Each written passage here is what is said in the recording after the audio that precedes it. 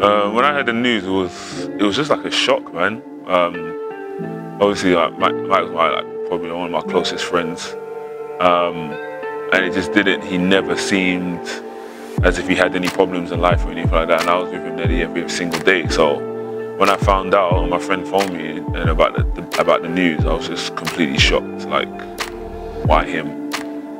Why did he do that? Like I was just asking so many questions that obviously I couldn't I couldn't have them answered because he wasn't here no more.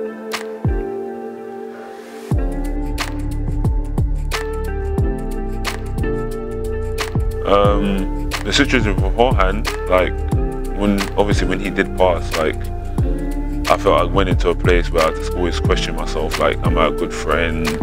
Um, like the same question, like what could I have done? But um, thinking back to it, like I don't know what I could have done because um, obviously that's that's the crazy thing about it. Like mental health, like people tend to shy away from their closest friends or just to hide it from themselves. Maybe maybe they feel embarrassed to open up to someone about something they're going through. Um, but me personally, um, even up until now, I still question myself like, what could I have done or what did I do um, for him not to make for him not to come to me um, to open up about it. So I feel like going forward and this thing happening, um, always trying to tend try and tend to be the best person I can be. Um, even like relating to basketball, like that's my profession. Um, always try to be the best person I can be. Um, someone's going through something or I can see any signs or anything like that. I always, it sounds annoying, but I always ask them if they're fine, um, how they're doing. It may seem annoying, but you always got to be that person just to see how your fellow teammate, maybe your friends or friends or family, see how they're doing.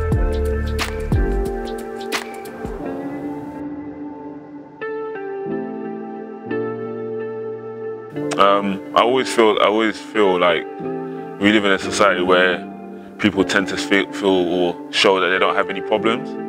And uh, going back to the situation where I lost my best friend, like he always seemed like he was okay, or if he didn't have any problems, he always like tried to brush under the rug, and there was there wasn't a problem. So um, if anyone's going through mental health or you have anything you want to speak to somebody, like don't be afraid to speak to anybody about it, um, because that's your outlet of getting frustrations out or getting the ideas in your head or whatever that you have boiled up inside of you that you can get them out and someone someone can help you.